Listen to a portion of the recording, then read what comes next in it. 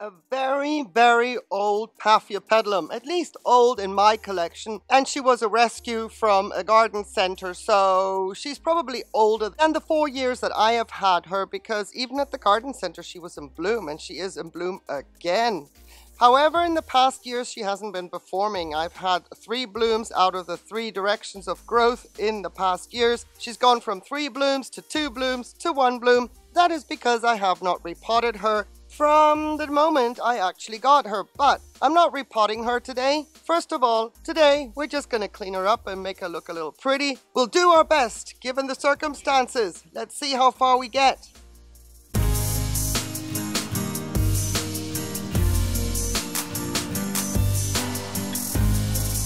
Now, with any slipper orchid, there are directions of growth. And the beauty about this is that the old growths will hold on and stay active for the longest time ever. It takes forever for the leaves to drop. And ideally, yeah, you might say, why don't you cut this off? Well, I was waiting to do the video, but also I like the fact that the orchid is taking it off and absorbing it all by herself. I prefer to do that. No harm, no foul. I'm not growing for shows. However, the time has come to have a little bit of a look-see and get her cleaned up and see what we're up against. And I'm starting with little sheaths around the base of actual growths that are still okay. They're old, but they're not the blooming ones. But we can clean up around the base there because Especially during cold temperatures, it's good to get rid of something that could go a little bit soft and probably cause issues, you know, rot around the base and we don't want that. So that came from the fan right here, which did not bloom for me last year. However, its new lead is the one currently in bloom. And then you can date back the growths that are affected and really dying back. So we have the growth of 2020 right here and it bloomed okay now this one is spent but it produced another growth right here this is the growth of 2021 it did not bloom then we have the growth of 2022 which is right here which is blooming and on the bottom we've already got the growth starting of 2023 which is awesome you see there's also another kind of a yellowing leaf here with some serious spotting. This was a problem from 2022 when I had spider mites. Many, many leaves are affected. You'll see that all throughout. It repeats itself. Unfortunately, until the growths do not come off or die off or get cleaned off, those blemishes will stay. I always comfort myself in the fact that I am not growing for shows. And with that, I don't feel so bad. Anyway, back to the cleaning. I am going to take off this back growth because even though I would like this leaf to be absorbed all by itself, let the orchid do that. Seeing as she is growing her new growths already, I think we can take the whole thing off. That is optional. And depending on what I find as I go through, all I'm doing is very, very easily ripping off Sounds harsh, but they come off relatively easy when they're in this stage of desiccation at the base. So you can go in and not be timid about it. And you see I have some microfibers here. That is because sometimes slipper orchids will raise themselves out of the pot as the roots grow. And then, of course, the roots are at surface level. Don't want them to dry out in my dry climate. So I wrap little bits of microfiber around the base of the new fans to be able to protect the roots. Case in point is right here. Let me make sure that I've got that in shot. There you can see a fuzzy, fuzzy root. And that was where the microfiber was placed over the top. And I will be reinstating the status quo here once I'm done cleaning her up. The microfiber stays damp. Sorry about the jiggle. It stays damp, not at all times, but you know, intermittently. I just don't want that root to fail. Let's get back to our initial growth. Make sure that we've got everything and see if I want to take that out. So yeah, this looks radical, but it's relatively easy to do. Very, very old growths in the back here that have been trimmed over the years. Sometimes they pop off relatively easily and I like to try and get them off. but this one's pretty solid. So until I don't do a repot on this orchid, I'm going to leave it. And this also gives me insight into the next direction of growth, which is looking a little bit pathetic. Again, we have this lead in the back. We had blooming, we had blooming, we've had no blooms, and now it is growing two new growths. So I'm hoping to reestablish that status quo when I get to repot her. But you see the yellowing leaves at the base? I like to take them off because they impede root growth. So there's a little bit of a spider web, that's okay. I get spiders in my pots, especially during the winter.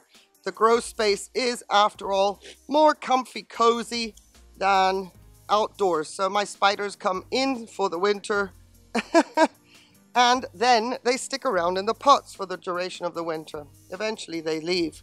You see, there's nothing wrong with this, but it feels, I can't show you, but it feels a little bit wet. Even though this is on an older lead, older fan, it could be an issue down the line and we don't want that. In the meantime, we have uncovered on this single back lead right here another growth by taking that sheath off, that leaf, sorry, off. Here's another one. Now, if that had stayed on, it is possible that the wetness at the base could cause some issues, and we don't want that. The fact that this one is desiccating at the center, that is not normal. Usually it's the outer leaves of older fans that will desiccate first. So this has something to do, maybe there's an issue in the middle. Maybe it was just the spider mite treatment that took this leaf off. And you see how quickly that happened? You just split the leaf down the middle to get ahead of the game and you can pull it off. Now I didn't get all of it, which is unfortunate, but at least there may be some more air around the base in there. I have my snips if I need them.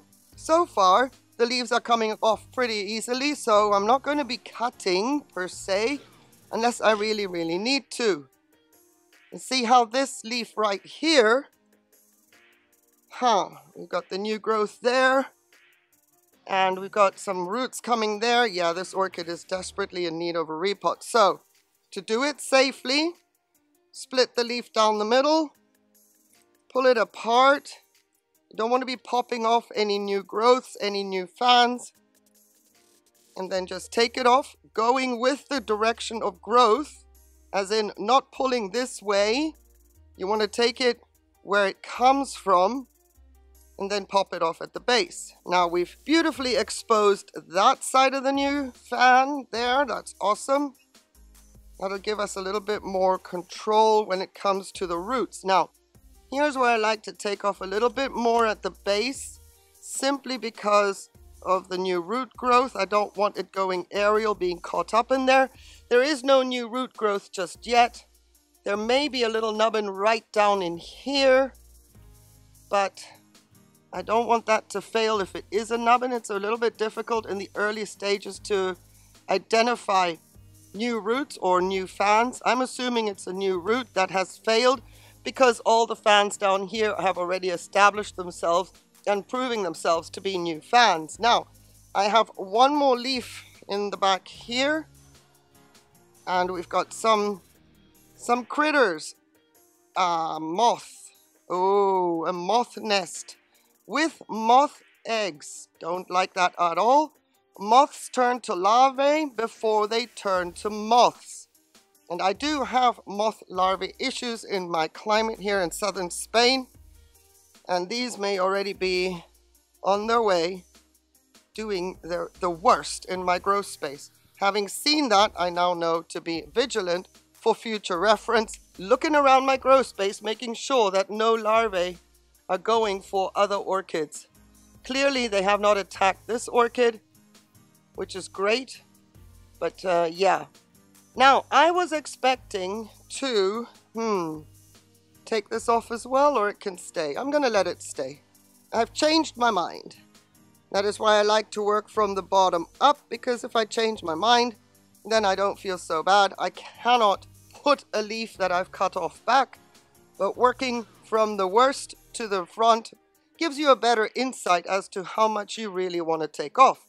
Now, when it comes to cleaning paphs, obviously, if you've got ideal temperatures, then by all means, make sure that the leaves are nice and dust-free. In my case, I'm not going to do that because I don't have ideal temperatures and I don't want water or any kind of residual moisture on the leaves. So for the time being, they will stay dusty. Now here, a little bit more of a bloom intermission. Gorgeous. Now here I have this leaf. It is unsightly. Let's see if I can get rid of that. That's just spider mite damage. It's not going to do anything here nor there. It's not adding. But if we take it away, if we can, because it's fresh, it's not that easy. So I take the snips and cut a line down the middle of the sheath. And then I pull right in the direction of that part of the leaf joint and left in the direction, opposite direction of that leaf joint. Now, there's still a little bit left down there. I want to be pedantic. I don't want to feel that my job is done just with that. Dead root, might as well take that out. Sorry if my chubby hand is in the way there, but I do not want these remnants down here right at the base of a new fan. Let's see. Oh, but it's proving stubborn because it's fresh. So we'll just snip it back into a smaller size even and then we can pull it out relatively easily. And basically, because I'm not cleaning the leaves, that would be it with me cleaning a slipper orchid. The repot will happen when she's finished blooming. Now, it doesn't mean to say that I can't repot her. Now, slipper orchids are awesome, even if it were blooming or in spike and you felt the need to repot a slipper orchid then go ahead and do so. They don't care. I just say why? Why not just wait? Because you can repot a slipper orchid at any point, enjoy the blooms. There's a bit of a tidy up. She already looks so much better than she did when we started. That is good enough for me. Now, at least her bloom can sparkle without looking all nasty. Pending one thing, a wet microfiber which we are going to place once again over the surface of the root right there. You can move a bit of the leca away. The microfiber is just wet with beautiful fresh rainwater because we've had a lot of it recently. Like a lot. I don't need to double up because I see another root on the surface right here. And again, this is only temporary until such a time that I can repot the orchid but that at least stops light getting to that root, maintains its health. We're going to need it eventually.